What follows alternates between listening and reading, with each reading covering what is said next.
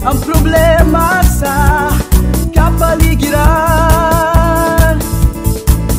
Tayo na't magprepara Para may maiwasan